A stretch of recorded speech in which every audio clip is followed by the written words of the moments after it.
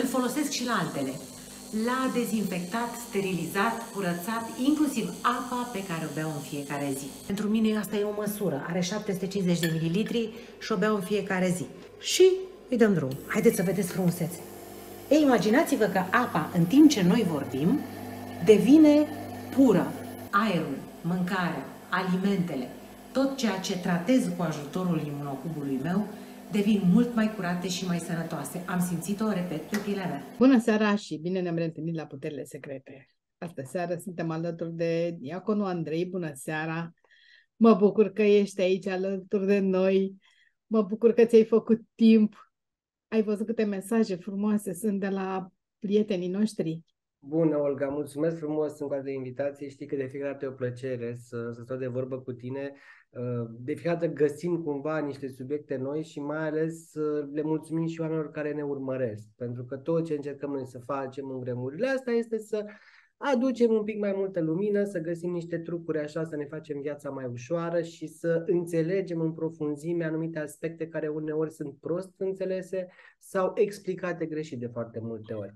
Așa că eu deci, mulțumesc pentru invitație. Sufletul omului uh, trece foarte bine ecranul și spun asta pentru că toate mesajele primite în uh, urma vizionărilor emisiunilor pe, emisiunilor pe care le-am făcut cu tine, toate mesajele sunt frumoase. Toate. Nu ai niciun hate. Nimic.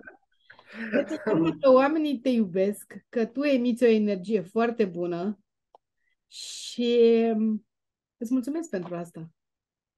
Și eu mulțumesc pentru cuvintele frumoase. Nu, nu știu cum să reacționez la laude niciodată, dar pot să zic mulțumesc tuturor și sper ca în continuare să, să aduc aceeași uh, stare de bine tuturor care ne urmăresc. Am hotărât așa, să vorbim despre încheierea acestui ciclu de 33 de ani, nu? Se spune că se încheie ciclu karmic, de fapt pedeapsa noastră, mm.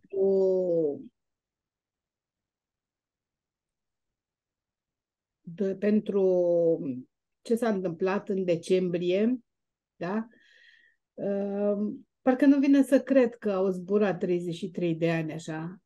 Timpul oricum mi se pare că se comprimă foarte mult și uite și tu că azi e luni, mâine e vineri, azi e dimineață, ajungi acasă seara și parcă zici că n-ai făcut absolut nimic. Într-adevăr, la nivel uh, real, timpul s-a comprimat foarte mult, sunt și studii făcute pe chestia asta.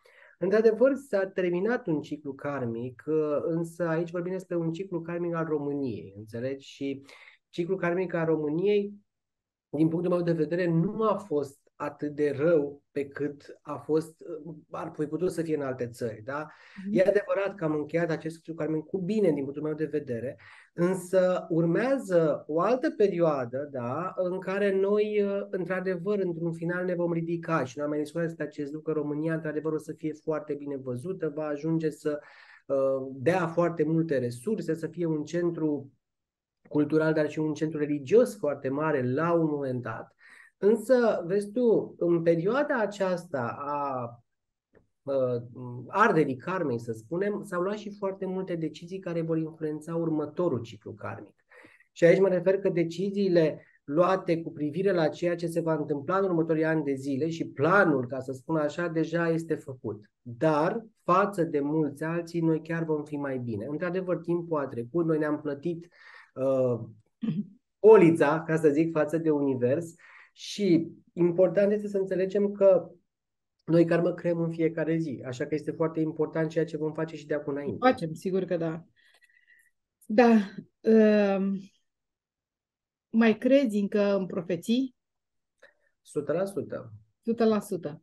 Adică cred în profeții pentru că foarte multe profeții din trecut pe care le-am citit, da, sunt uh, informații la nivel energetic pe care le văd și eu. Asta clar este o, asta îmi dă clar o certitudine a anumitor lucruri. Mm. Este o perioadă care bulversează foarte mult, care ne-a scos foarte mult din uh, ale noastre.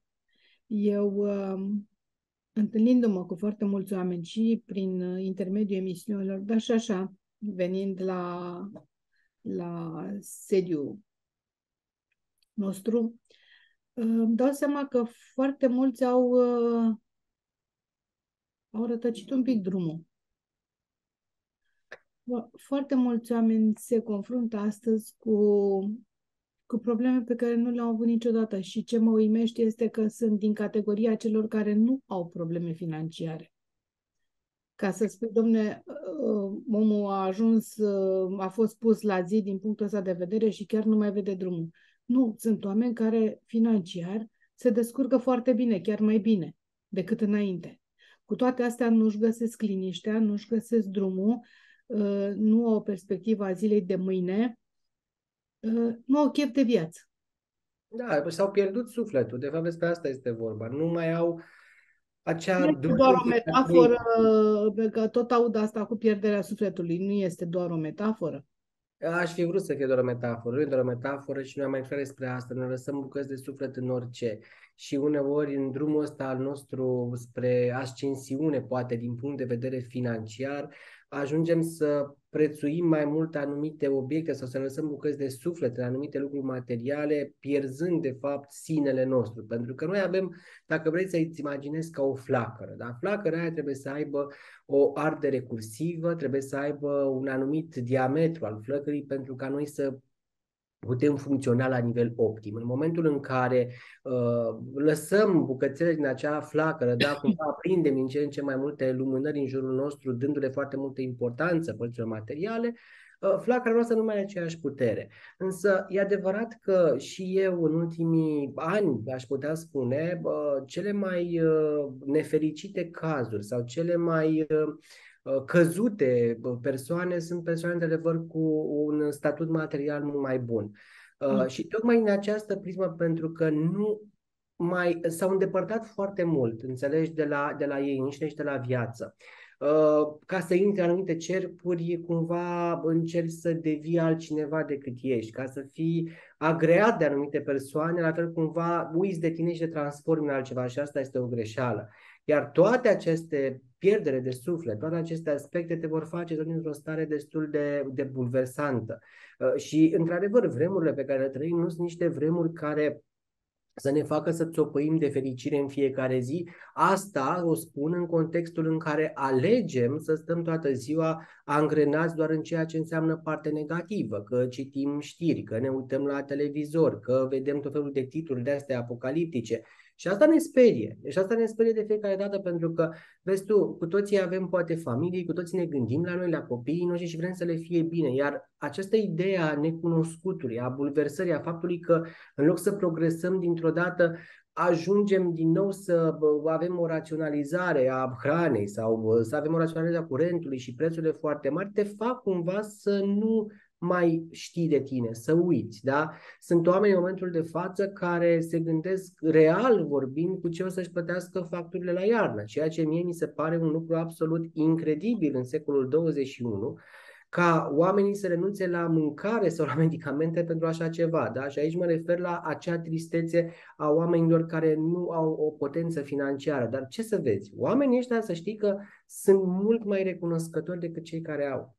Cunosc atât de mulți oameni cu uh, un suflet atât de pur, atât de minunat și cu o lumină interioară atât de mare, care nu au niște venituri mari, dar se bucură mai pentru orice, știi? Și asta este acea recunoștință despre care tot spun eu și pe YouTube și în alte emisiuni și la tine, recunoștința asta care trebuie să devină cumva o rugăciune zilnică pentru noi. Dacă noi suntem recunoscători în fiecare zi pentru ceea ce avem, ne conectăm la partea bună. Da? Mulțumim pentru masa pe care o avem, mulțumim pentru prietenii care îi avem, mulțumim pentru faptul că uh, uite, noi avem acum niște urmăritori care ascultă acest lucru, că uite, avem căldură, că avem unde să stăm și tot așa. Dar în momentul în care tu nu mai ai niște repere reale și te-ai rupt cumva din uh, ceea ce contează de fapt cu adevărat, și anume sănătatea, prietenia adevărată, iubirea, să ai ce să pui pe masă, da? și te bazezi doar pe lucrurile materiale care sunt efemere, nu e nimic cu tine dincolo, da? nici dacă te reîncarnezi nu să mai ai parte de ele,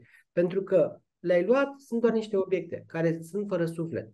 Dar a avea grijă de... Da, creează un anume statut, o, o anume păcăleală, că practic este, este o iluzie. Pe și pe cei din jur.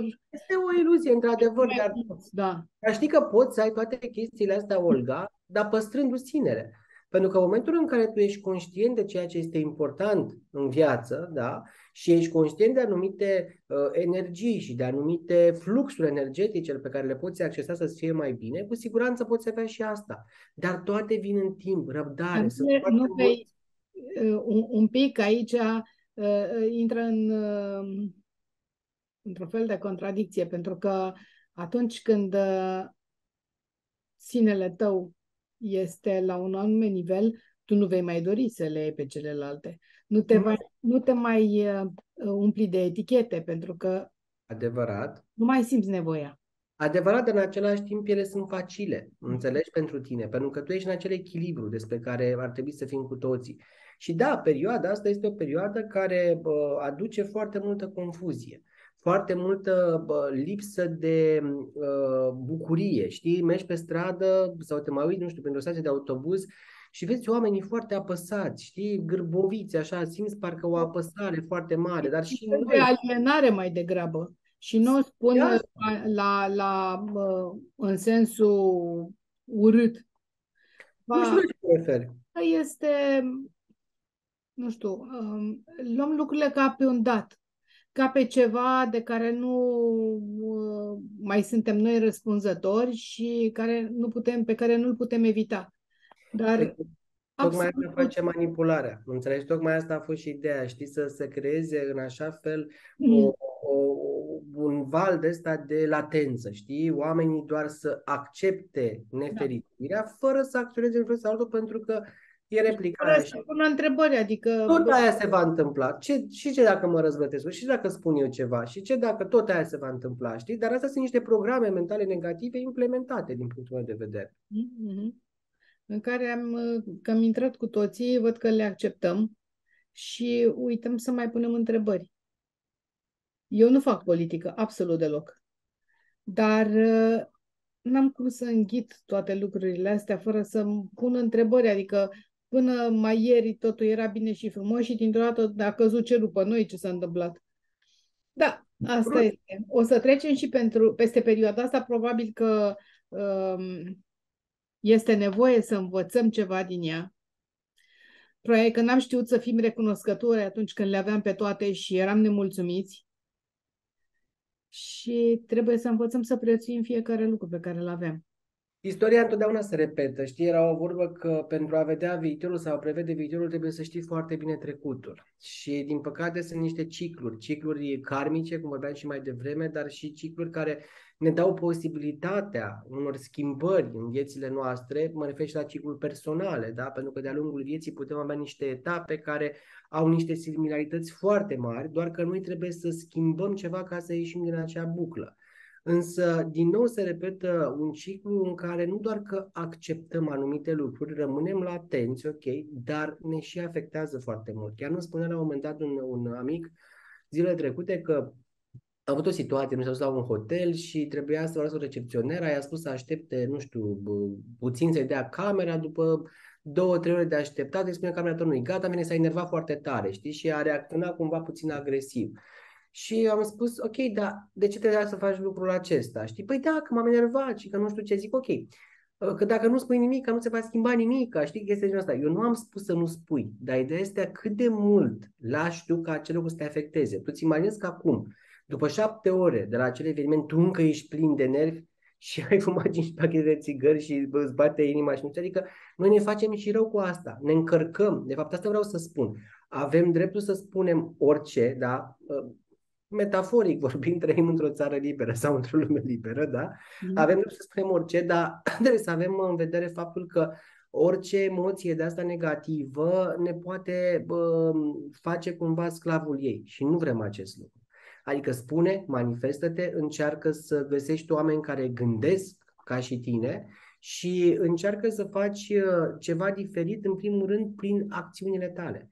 Dacă tu poți fi un exemplu pentru ceilalți, în, în orice domeniu mă refer, da? un exemplu că, uite, uh, oricât de greu ar fi, eu am zâmbetul pe buze, oricât de greu ar fi, uh, mă duc în continuare la muncă, oricât de greu ar fi, încerc să-i, să-i fac și pe cei din jurul meu să aibă o stare mai bună, atunci asta va schimba, pentru că tu mă vezi pe mine, eu te văd pe tine, nu știu cine te vede pe tine și tot așa, știi? Și ajungem cumva să uh, creăm un lanț de ăsta de lumină, că de fapt de, de lumină avem nevoie în momentul de față, în întunecimea asta, uh, care va, va putea să, să facă diferența în lume.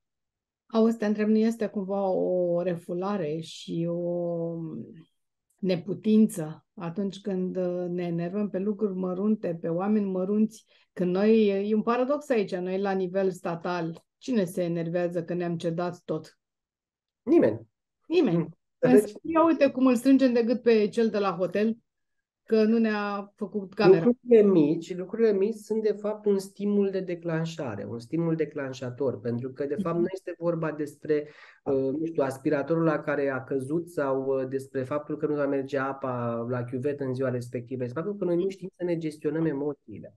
În loc să trăim fiecare emoție în parte, bună sau rea la momentul potrivit, alegem să le băgăm într-un sac în spate, știi? Pentru că noi suntem mai atari și mari, nu știu cum să spunea, că bărbații nu plâng, că bărbații nu se arată emoțiile, că diferite chestii de genul acesta sau copiii bă, atunci când crezi nu mai trebuie să fie speriați sau nu știu ce, sunt tipare din nou mentale, care nu fac altceva decât să-ți îngrop toate aceste gânduri, toate aceste uh, emoții într-un sac, iar sacul la un moment dat face boom și în momentul în care tu ai o reacție exagerată la un eveniment extrem de mic, este clar că ai foarte multe lucruri uh, care refulează, pe care tu trebuie să le diluiești cu tine. Și cum faci asta? Vorbești cu tine, da? Și spui, ok, care sunt problemele mele? Într-un alt mod, când am văzut acea situație, da? De ce m-am activat atât de mult? De fapt, ce a uh, scos din mine atât de rău. Da? Și de acolo se poate lucra, bineînțeles.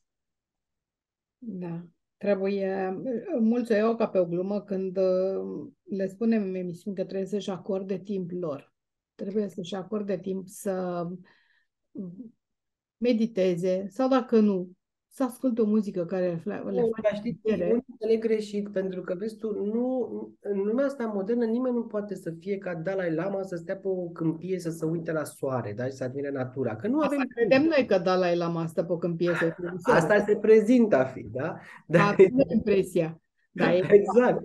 Dar ideea este că, uh, într-adevăr, trăim într-o lume în care tot timpul este agitație, dar ați acordat timp cu tine nu înseamnă neapărat să stai efectiv inert, da? Înseamnă să, în drumul spre, spre muncă, dacă ești în mașină sau în autobuz, să vorbești un pic cu tine, să te gândești ce simt eu acum, ce nevoie am eu acum, de fapt ce mă nemulțumește, de unde vine chestia asta. Adică asta vreau să înțeleagă oamenii că timpul cu tine poate fi și uh, un 5 minute cumulat înainte de culcare sau când faci baie sau când ești pe drum sau tot așa. Dar acordă timp, adică mintea ta să nu fie angrenată doar la ce o să fac mai târziu, uh, am de plătit facturi, trebuie să iau copilul de la școală, trebuie să mut copilul, dar nu știu ce știi, la mail și alte lucruri. Asta nu trebuie să vorbești cu tine, pur și simplu.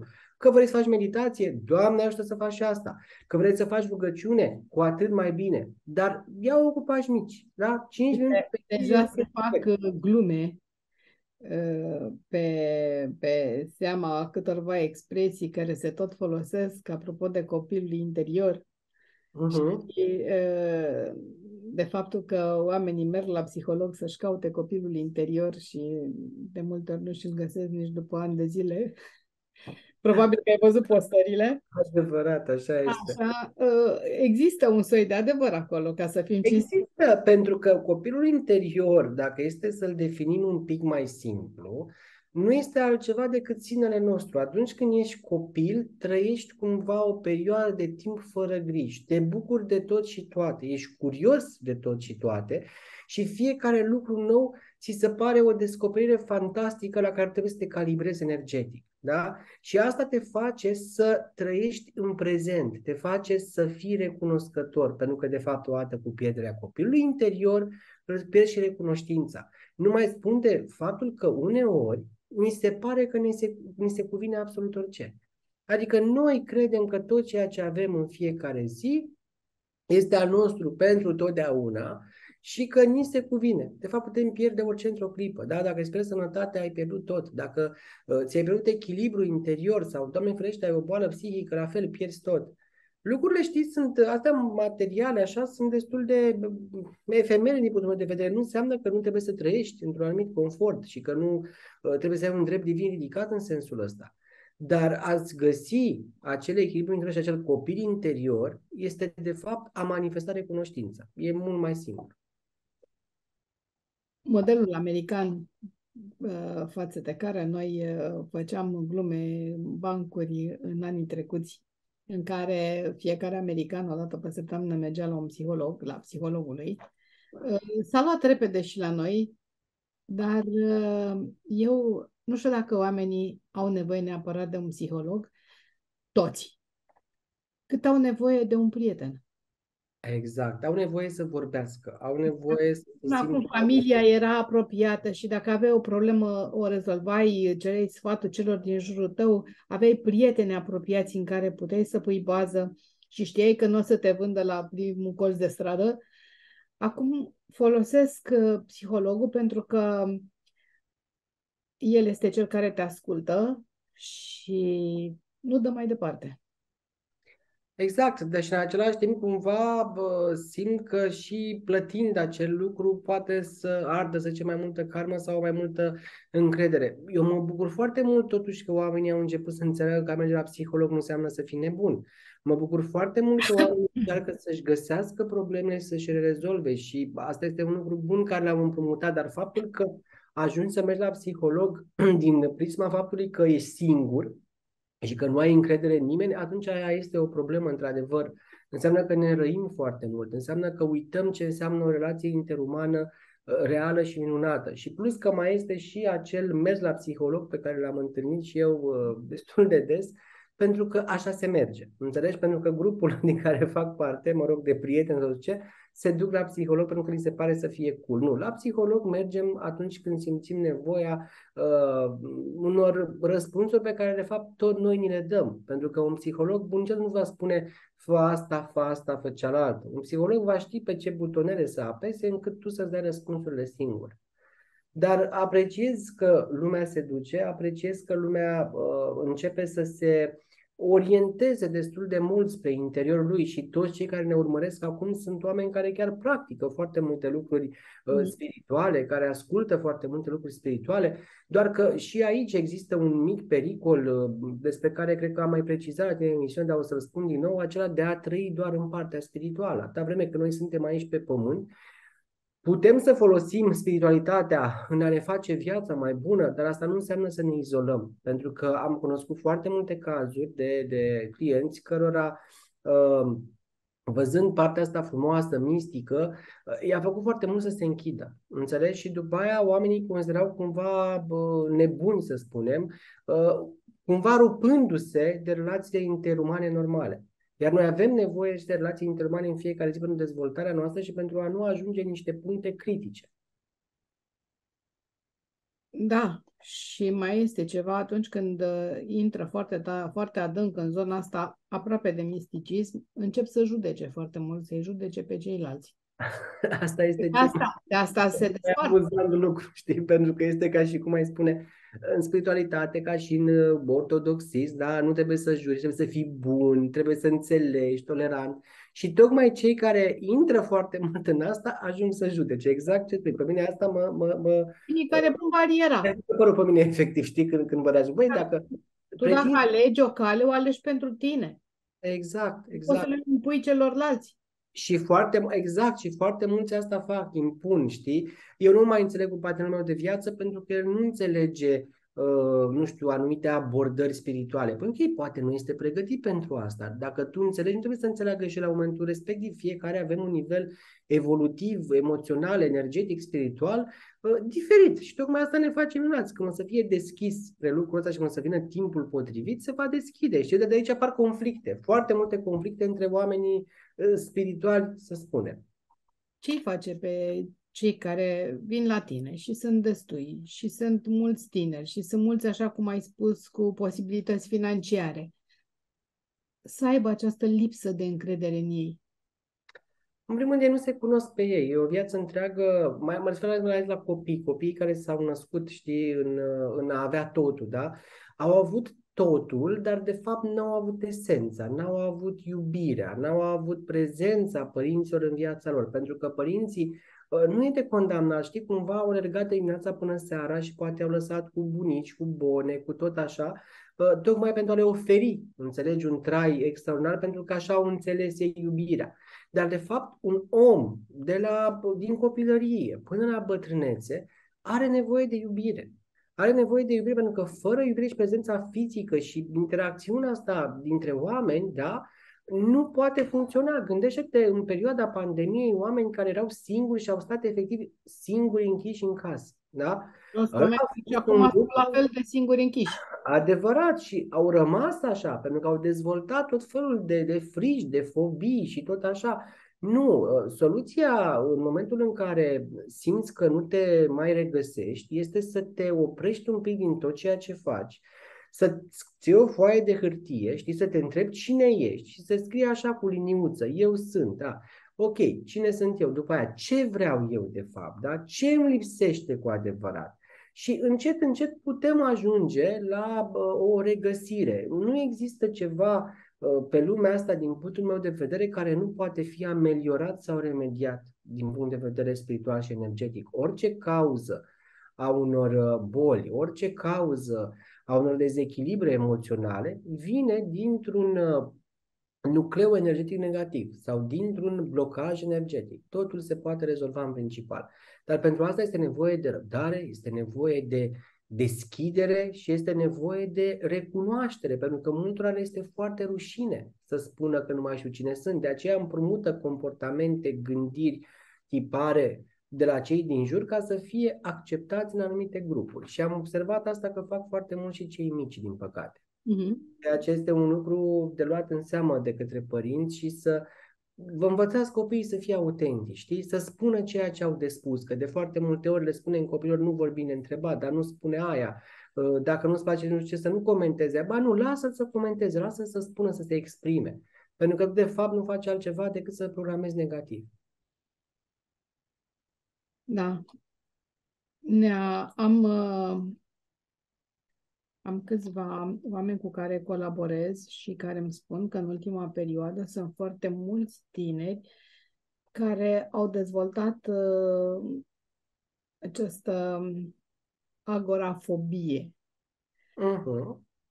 Pur și simplu evită spațiile mari, evită uh, piețele, evită oamenii uh, cum să spun, locurile publice unde sunt foarte mulți oameni, nu pot să iasă din casă decât dacă sunt uh, însoțiți de cineva și atunci când ajung în zonele astea, pur și simplu intră în persoana respectivă, îl uh, țin de mână, sunt cât mai...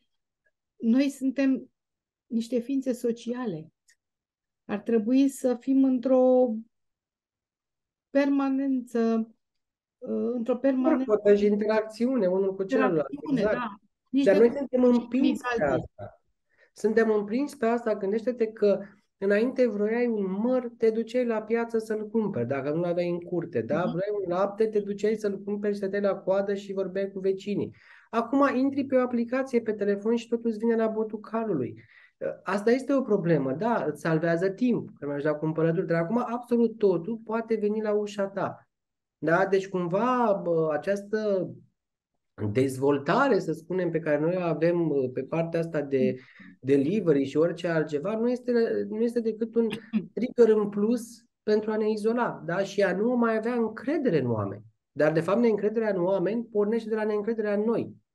Tot timpul știți, suntem suspicioși, dar dacă mă deschid prea mult, poate că nu știu ce se întâmplă, dacă o să sufăr, dacă o să nu știu ce. Și într-adevăr, mulți, mulți, mulți, mulți tineri trec prin această mm, variație de agorafobie sau să-i spunem, uh, uh, poate chiar agorafobie uh, în realitate, da? care nu este deloc de, de neglijat. Mm-hmm. Te plimba mult și te plimbi. Aș vrea să mă plimb mai mult, nu am așa mult timp să mă plimb. Te plimb mult mai mult decât uh, alții, mai mult, mai mult decât mine, să zic. Uh, ce diferențe vezi între noi și alte populații pe care le vezi? Uite, de curând am fost... În alte țări sunt mai deschis, sunt mai liberi, sunt mai normal, mai puțin afectați. De curând am fost în, în Bali, am avut acolo ceva de, de, de făcut și vreau să învăț ceva. Am avut și niște uh, cursuri pe care le-am avut, uh-huh. le-am mhm. ținut. Uh, nu am fost în vacanță, că lumea mă întreba, am fost de fapt cu munca, dar e un bin util cu plăcutul.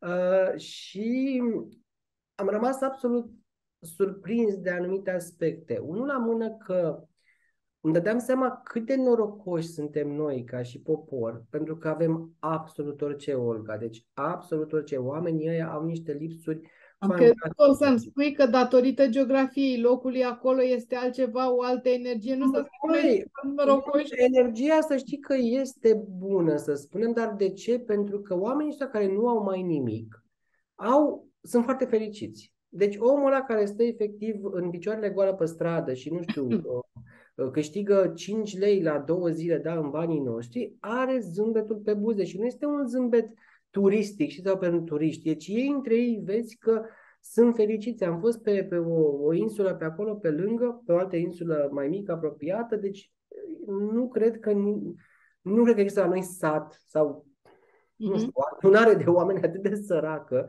cum am văzut acolo. Și cu toate astea era un hăhăit și un râs de n-am văzut în viața mea. Dar știi, cumva îți dă așa niște senzații foarte ciudate, că îți dai seama cât de norocos ești tu și ai toate lucrurile posibile și imposibile la botul calului. Trăiești într-un anumit fel, știi, și cu toate astea e momente în care te simți nefericit, știi, te simți uh, deprimat, îți lipsește nu știu ce, băi, oamenii ai efectiv nu au haine pe ei. Și cu toate astea... Nebuie, că e cald. Înțelegi, dar e cald. Da, și mie, de ce suntem noi atât de uh, încrâncenați așa? Că, uite, te, te, te uiți la figurile celor din jurul tău, te duci într-un uh, magazin și ai să vezi foarte puțin care să uh, fie deschiși, să fie surzători, să fie binevoitori. Dacă zâmbești prea că se uită la tine ca la felul 16, știi? Și în minte lor probabil o să zic, uite, râde și la ca prostul. Pentru că toată lumea se închide. Toată lumea s-a închis, adică toată lumea, majoritatea lumii se închide. Uh, nu vor să mai vadă peste problemele lor, nu vor să mai vadă peste greutățile lor, nu vor să mai vadă nimic altceva decât o linie cumva de existență. Deci ei nu mai trăiesc. Mulți am văzut că ei există doar. Da? Există ca bă, să-și ducă acasă anumite lucruri, ca să cumpere mâncare, să aibă grijă de facturi să plătească facturile care, Doamne iartă-mă, și asta cresc în continuu și tot așa. Și uh, contextul te face cumva Toate astea. să nu mai ajungi la, un, uh, la, o, la o dorință, știi, de, de fericire și de, de trai. Eu, eu, nu, eu nu văd, uh, uh, cum să spun, nu, nu, nu înțeleg comportamentul nostru al tuturor. Noi nu cerem o explicație logică a uh-huh. lucrurilor care ni se întâmplă. Noi ne enervăm, ne în piață, facem, mă rog, oricum toate se încheie cu uh, dansul pinguinului. Exact. Vorba bine. Da, deci nimic nu se întâmplă. Dar nu cerem în, la modul serios, la modul responsabil. Acceptăm niște tâmpenii ca explicații. Aici îmi scapă mie niște lucruri. Vreau să văd că există o societate civilă care să ceară niște explicații logice pentru ceea ce ni se întâmplă astăzi. Nu, dar pentru asta este nevoie foarte mult de această interacțiune interumană. Înțelegi cum spuneai și tu, că suntem niște ființe sociale, iar noi ne îndepărtăm.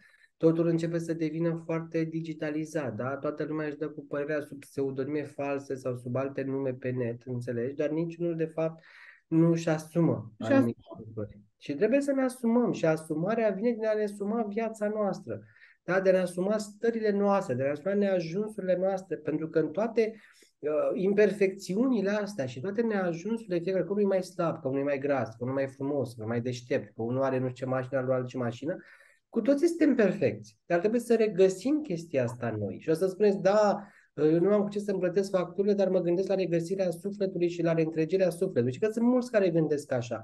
Ei bine, fără această regăsire și reîntregire a sufletului tău, nu vei ajunge să poți să-ți plătești facturile respective, pentru că totul ține de echilibrul tău interior. Și dacă corpul tău energetic este complet decalibrat, de acolo se va decalibra întreaga ta viață, și personală, și uh, din punct de vedere economic, al jobului și tot așa. Așa că nu mai fugiți de voi, da? Ne ascundem în spatele, uh, asta este, nu se poate schimba nimic. Ne ascundem în spatele dacă vecinul nu știe de eu de ce să zic.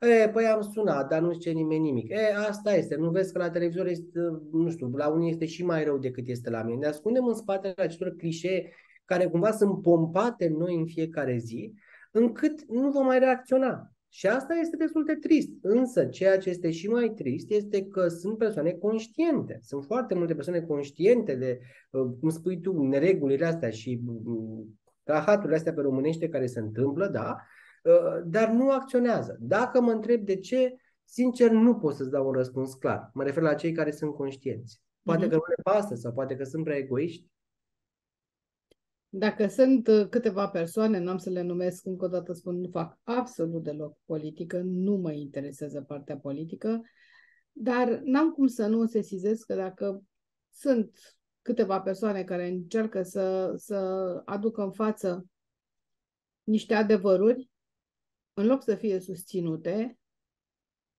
sunt uh, criticate, dar nu vis ceea ce aclamă, ci vis-a-vis de cum arată,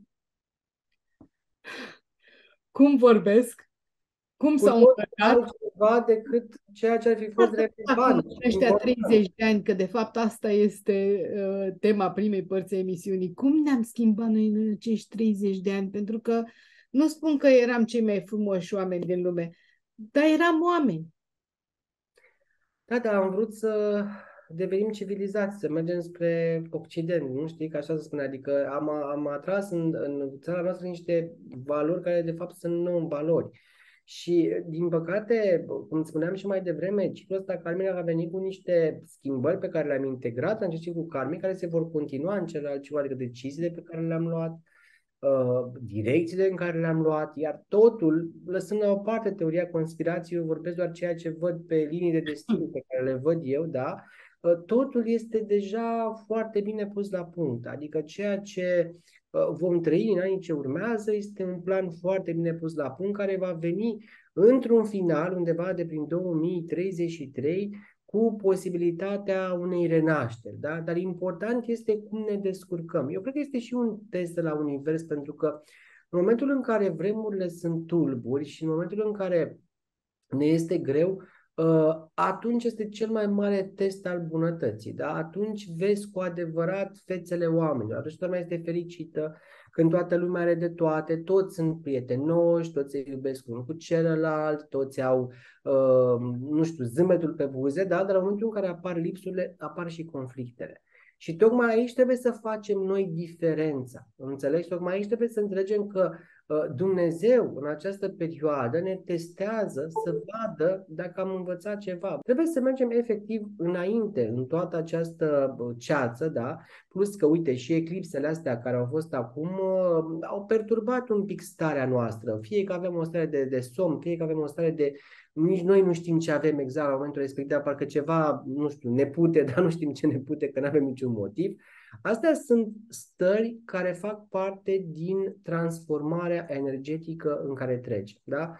Nu vreau să încep cu 4D, 5D, 6D și alte chestii, ci doar vreau să spun că se schimbă anumite energii. Și noi trebuie să ne calibrăm. Unii le simțim mai urât, alții le simțim mai puțin urât. Important este să fim deschiși la schimbare, știi, la necunoscut. Frica de necunoscut va exista întotdeauna dar ar trebui să fie o frică destul de controlată, să ne gândim că necunoscutul, de fapt, poate deveni ceva foarte bun. Mi se pare că ne jucăm mult prea ușor cu ani, cu timpul nostru. E singurul lucru care nu se mai întoarce. Vorbim, uite, cum ai spus, 2033, 2040, 2050. Noi am mai trecut, cel puțin generația mea, prin perioade de sacrificiu, generații de sacrificiu, tot au fost câteva generații consecutive de sacrificiu, măcar exista un scop. Știai, domne, se construiește o țară, se construiește o industrie și așa mai departe. Și acum, uitându-mă în urmă, mă întreb de ce am fost de sacrificiu, ca tot ce am construit să vândă alții sau cum? Da, sunt, sunt niște teste pe care, pe care nu le-am trecut. Asta că dăm o explicație spirituală, înțelegi? Dar din punct de vedere uman, este foarte nedrept ceea ce se întâmplă. Pe de altă este... parte, să știi că mă învinovățesc și pe mine, adică nu bă, dau vina Da, pe noi vorbim, nu, pentru nu că e ca și cum ai înseamnă spune că nu am valorizat suficient și n-am ținut suficient la lucrurile pe care le-am construit. Pentru că, să fim serioși, nu Ceaușescu a construit țara. El Nu, a avut o oamenii. funcție directoare, da? El a impus niște lucruri, dar noi le-am construit. Noi, ne-am, noi am muncit, noi am construit, noi am făcut. Nu, Adevărat. uh, și tot noi am dărâmat. Și tot Ce noi pot am să- vândut. Ce pot să spun este că vom avea șansa să reconstruim și o să vedeți în următorul ciclu karmic care începe din uh, ianuarie, da, acești uh, 12 ani, 10 ani, uh, 10 ani de, de greutăți oarecum vor veni pentru noi cu această posibilitate de a reconstrui și a ne organiza spre bine. Și partea bună este că, deși poate vedem cu expunere publică foarte mulți oameni care nu au ce căuta la nivel decizional, există și foarte mulți oameni extrem de inteligenți în țara asta care vor ști cum să uh, ducă cumva poate bă, și economia și bă, bă, partea de resurse să o ducă la un nivel de productivitate foarte mare care să ne avantajeze pe noi ca și țară. În timpul lui Ceaușescu a existat acel manuscris, toată lumea, nu știu dacă tu l-ai citit, că erai mult mai mic, dar era manuscrisul cu, cu, despre profețiile lui Sundar Singh despre mm, România, da? Uh, și acolo chiar uh, se scrie la un moment dat că România are o misiune dumnezeiască de redresare spirituală. Este Și ceea ce pot să băiatul- spun. Mhm. Și apoi după aia tot, că dacă te-ai redresat spiritual, automat uh, începe și partea materială, vin uh, una după alta. Dar mă uitam așa în jur și mă gândeam, oare să fie adevărat? Eu mizez pe chestia asta și știu că se va întâmpla, nu numai că o văd eu că văd aceste frânturi de viitor, ci și din simplu fapt pentru că România, Olga, încă este o țară în care lumea crede foarte mult în Dumnezeu. Este o țară în care lumea se roagă. Este o țară în care se respectă foarte multe tradiții, foarte multe datini, în care marea majoritate a oamenilor au frică de Dumnezeu. Ceea ce în foarte multe alte state ale lumii nu mai există. Da? S-a divizat complet. Și, într-adevăr, anii ăștia vor fi niște ani în care partea asta uh, a credinței va fi încercată din foarte multe puncte de vedere și se va ajunge cumva la o deschidere și mai mare. Da? Nu mă refer doar la anumite, nu știu, creștinism, catolicism și mă refer efectiv la credință în sine. Iar faptul că oamenii se roagă, faptul că avem călugări care se roagă, avem atât de multe biserici, atât de multe mănăstiri, fac ca energia acestui pământ să fie foarte bună. Și la fel, lăsând la o parte partea conspirațională, dacă România asta nu ar fi însemnat ceva, nu ar fi venit toți ăștia acum de Halloween în România, pentru că acea întâlnire, din punctul meu de vedere, nu a fost doar o petrecere, s-au pus la punct următorii pași în ceea ce privește economia globală da? și tot așa. Noi vom deveni un centru foarte important spiritual și acele profeții despre care uh, vorbești, cu siguranță se vor, se vor uh, întâmpla mai devreme sau mai târziu. Uh, România este cumva apărată, știi, dacă ai putea să vezi cum văd eu, uh, în momentul de față, deasupra globului pământesc este ca, nu știu, un nor negru, dar este un nor așa ca o mâzgă, este foarte, foarte opac. Uh, nici România nu este extrem de albă, însă se poate vedea uh, o transparență aici, este un gri, un gri deschis, însemnând că totuși încă noi uh, suntem bine. Și eu cred că toată chestia asta este din faptul că există foarte mulți oameni buni, din faptul că există această credință, că ne rugăm și că bă, suntem uh, deschiși, da, din punct de vedere bă, spiritual. Scrie la un moment dat într-un capitol din uh, profeții că atunci când, uh, când orașul Sfânt București se va construi cel mai uh, monumental lăcaș spiritual de comuniune cu Dumnezeu.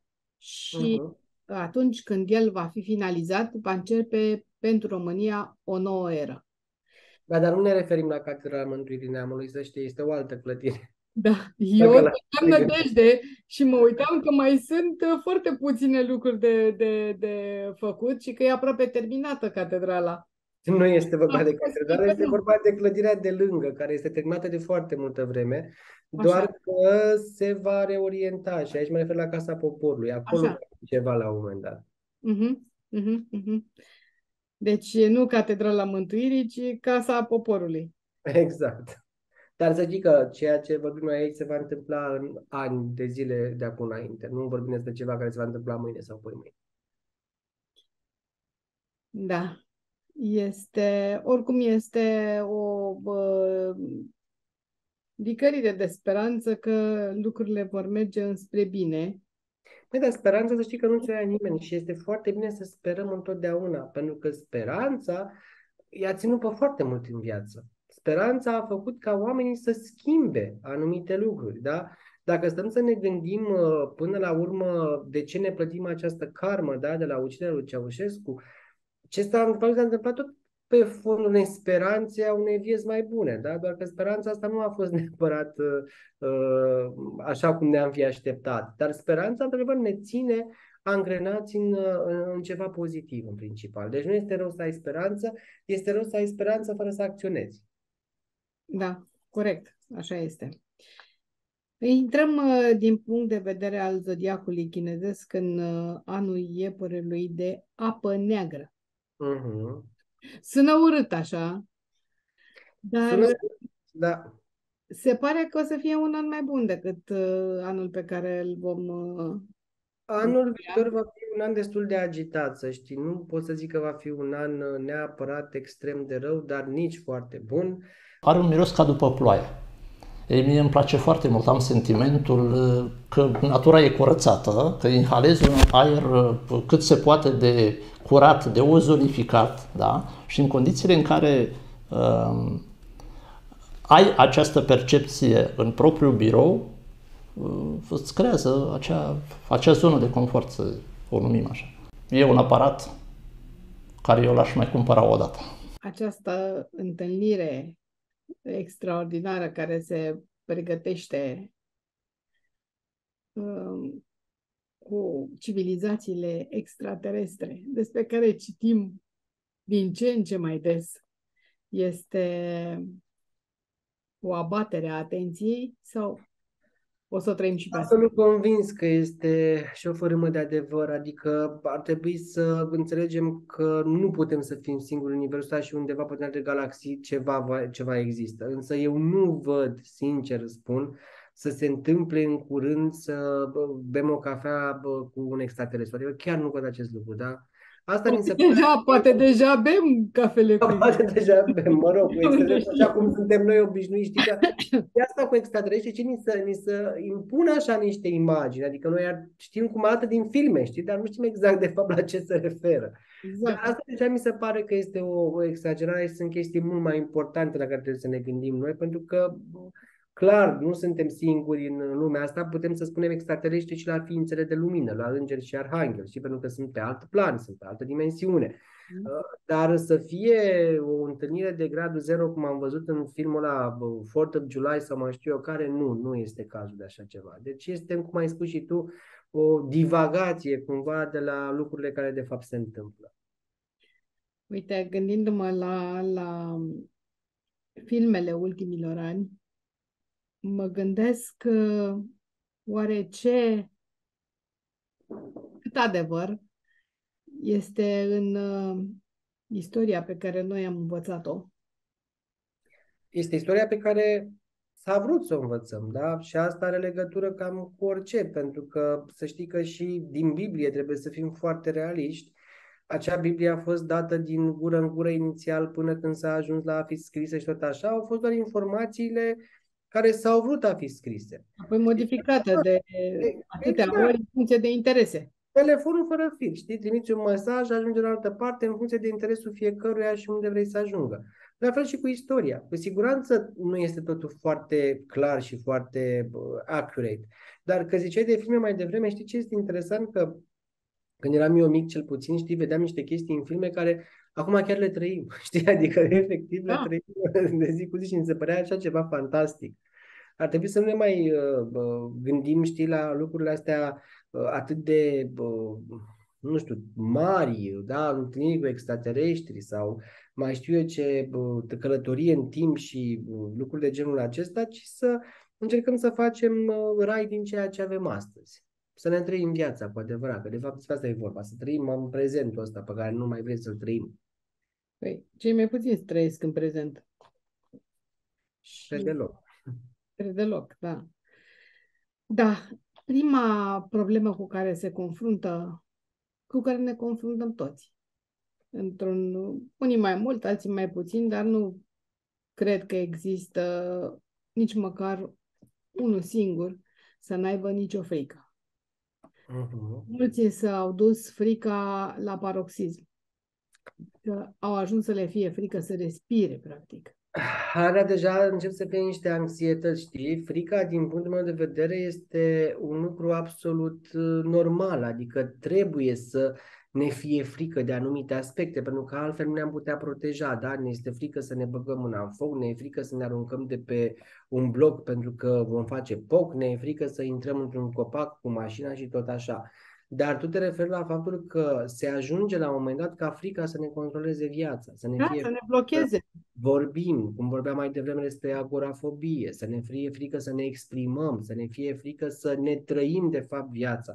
Aia este într-adevăr o problemă foarte mare și uh, anxietate cumva avem cu toții, da, din punctul meu de vedere este un dezechilibru uh, energetic al stării de spirit uh, caracterizat pentru un cumul de griji, da, griji care nu mai pot fi controlate, foarte multe griji pentru că noi ne gândim întotdeauna la ceva, uh, se adună foarte multe până când corpul nostru energetic nu mai face față. Și atunci se uh, provoacă un atac de anxietate. Atac de anxietate care poate să fie um, um, manifestat prin foarte multe aritmii, prin uh, tot felul de bă, respirație îngreunată sau efectiv să te blochezi. Da? Nu mai poți să faci absolut în acel sens.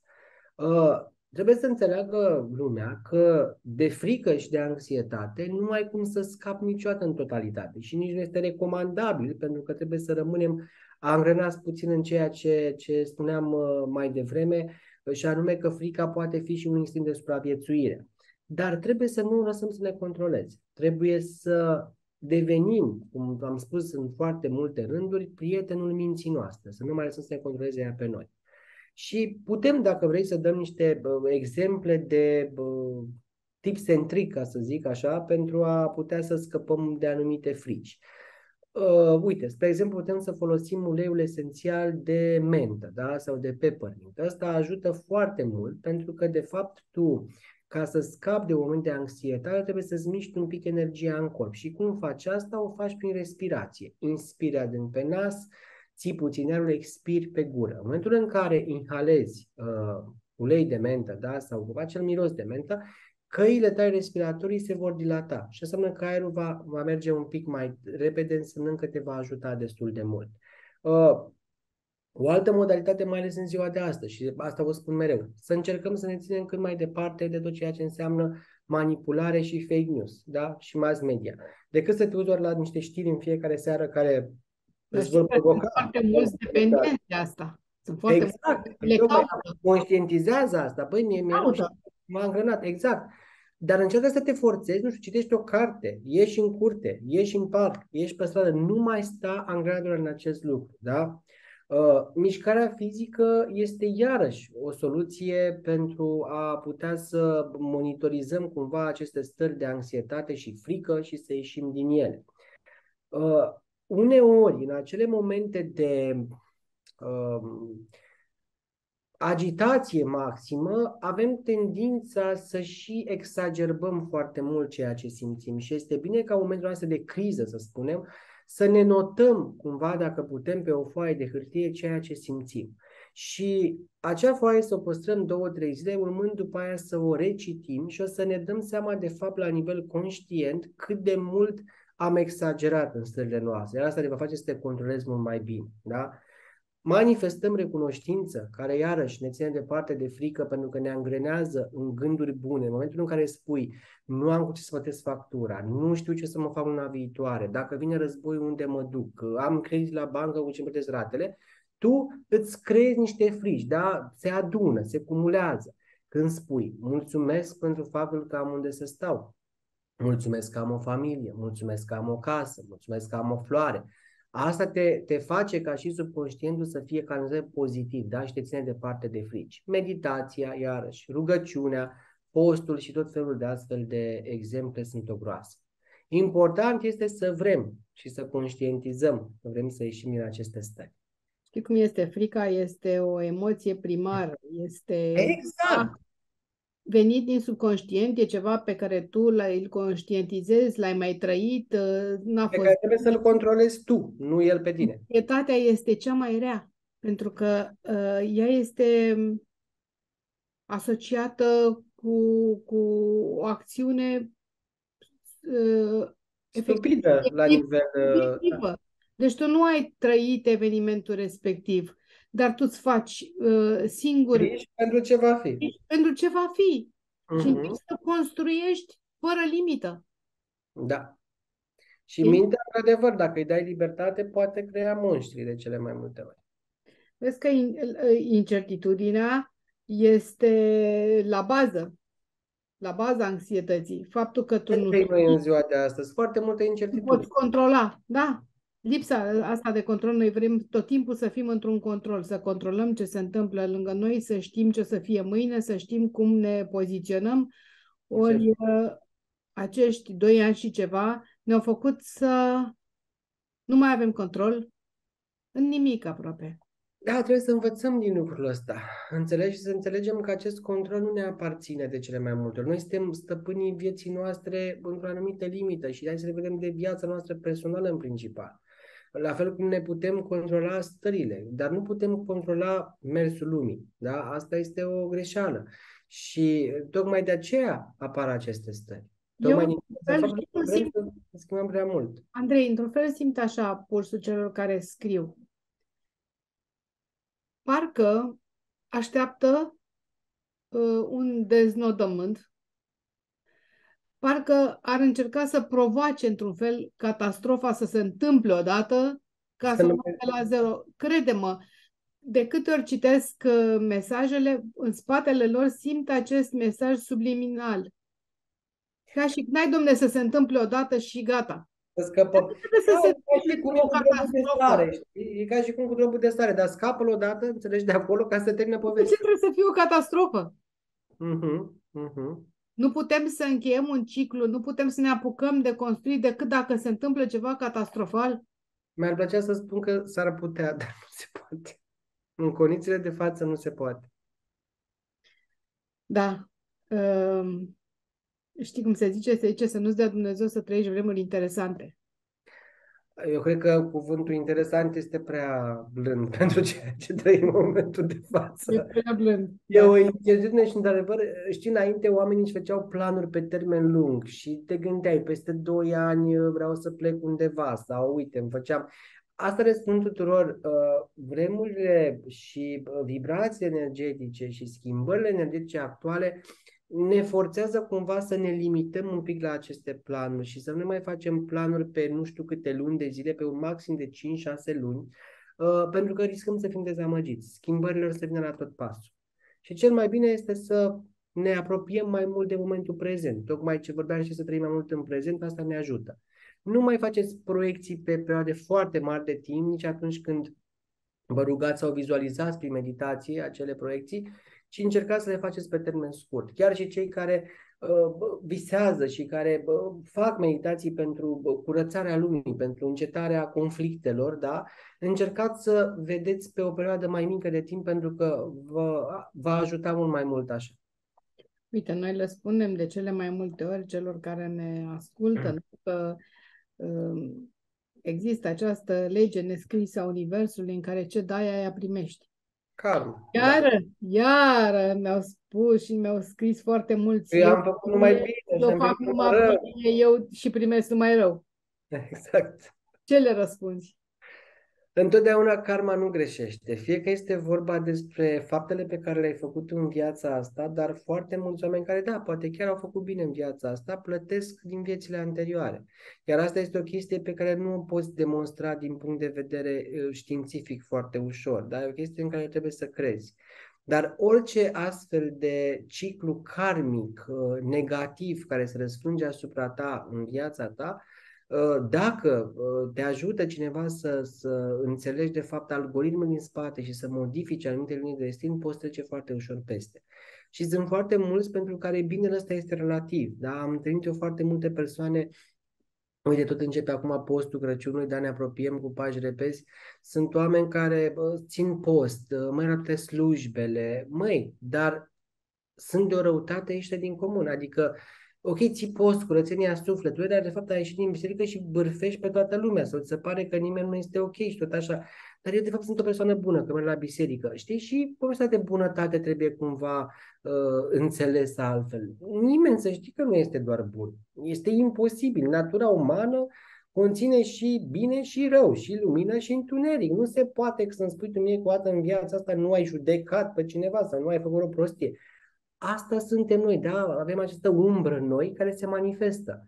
Dar nu poți să spui că ai făcut doar bine în viață, că nu este așa. Și, într-adevăr, când ai un parcurs destul de anevoios, sunt niște chestii care vin fie de pe partea de karmă personală, karmă de neam sau chiar un blestem de neam care uh, îți spune anumite piedici. Dar și în momentul în care ajungi să pui asemenea întrebări, într-un acest moment de disperare, tu ești blocat acolo.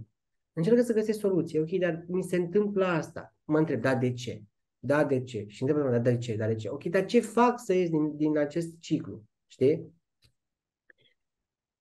Există câteva comunități de oameni care sunt apropiați de zona spirituală, care spun că anul 2023 va fi anul ieșirii la lumina istoriei adevărate a României. Eu aș vrea să cred asta, chiar îmi doresc din tot sufletul. Ce zici? Este un an mai degrabă pe partea de tehnologie, unde vor apărea foarte multe lucruri de genul uh, tratamente pentru felul de boli care până acum erau incurabile, tot felul de soluții de asta, IT, nu știu, robotică și tot felul de soluții care pe termen nu sunt foarte bune.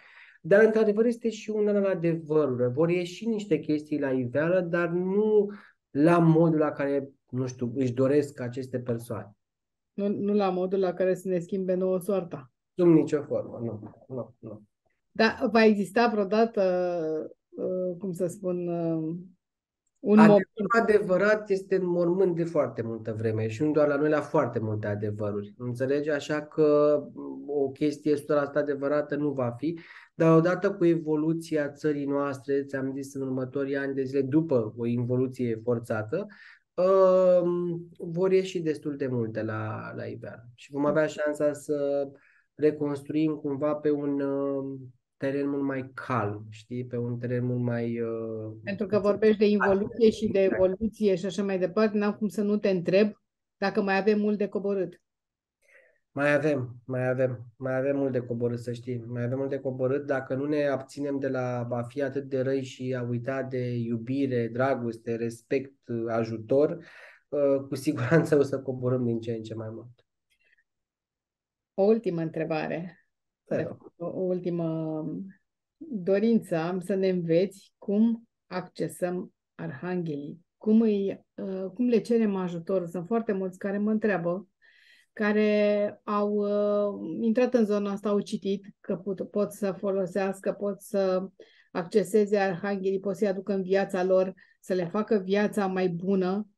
Și să știi că eu uh, am încercat destul de uh, timid dar am încercat și chiar funcționează. 100% funcționează, pentru că entitățile de lumină, îngeri, arhangheli, uh, ghizi spirituali sunt în, în celălalt plan și au grijă de noi dacă le cerem acest ajutor. Nu există ceva atât de complicat. Sunt atât de multe metode, am citit și eu, și tot felul de cărți și la anumite momente ale zilei și cu nu știu câte lumânări și uh, nu știu ce besențe uh, aprinse, tămâi și alte lucruri A vorbi cu uh, arhanghelii, a vorbi cu îngerii tăi păzitori este la fel de simplu cum ai vorbi cu partenerul tău de viață.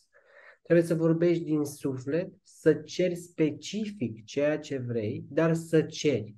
Pentru că foarte mulți, mai mulți se, atunci când se roagă de îngeri sau arhangheli, se milogesc într-un fel și le este teamă. Nu.